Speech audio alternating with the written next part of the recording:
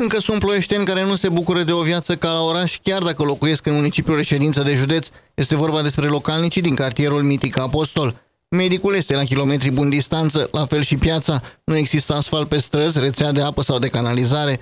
În privința apei potabile, oamenii s-au descurcat așa cum au putut. Apă de unde luați acum?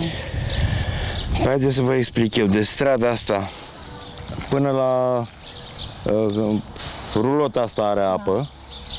Nu, nu are apă. De acolo și până la ciocărlii are apă pe banii la oameni.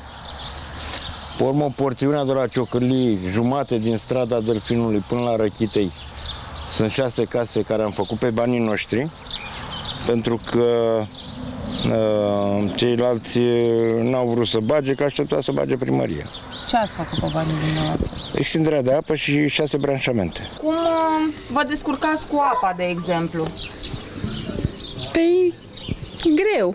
Că dacă nu sunt pe străzi, Nu aveți apă. nu avem apă decât până aici conductă trasă de cu, cu plată, adică localnici. particular, da. Am înțeles.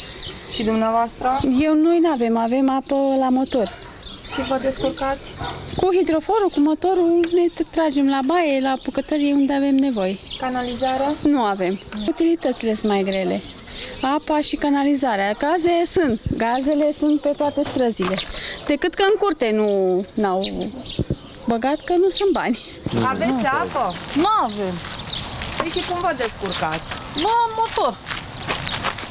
La pompă. Canalizare? Nu avem.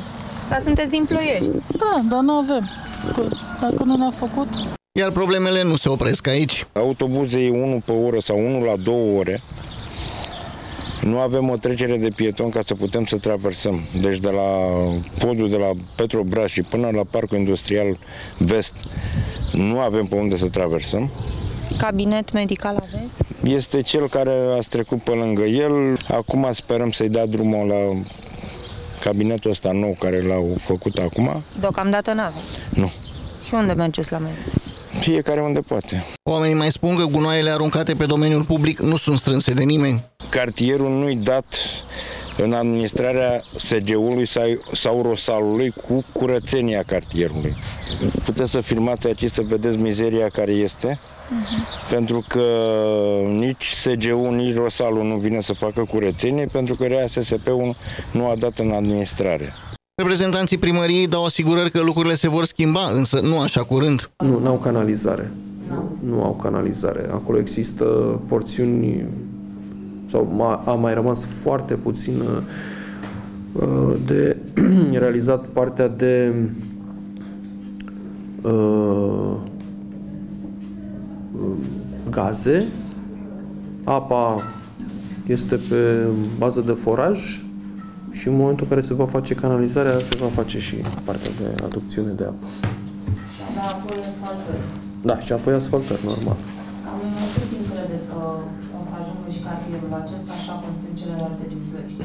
Cel puțin pe partea de canalizare și aducțiune apă, noi trebuie să finalizăm lucrurile până în 2018 inclusiv. Situația hilară, spun localnicii, este că oamenii trebuie să plătească rovinietă atunci când vor să ajungă la spital sau la primărie, având în vedere că trebuie să parcurgă și un drum național, și anume centura de vest a Ploieștiului.